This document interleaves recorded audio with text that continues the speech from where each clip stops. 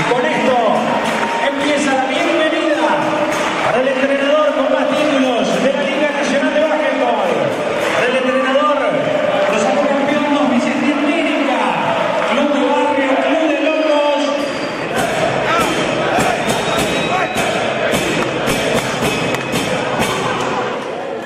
Bueno, un millón de gracias nuevamente. Definitivamente, yo le comentaba a Dios,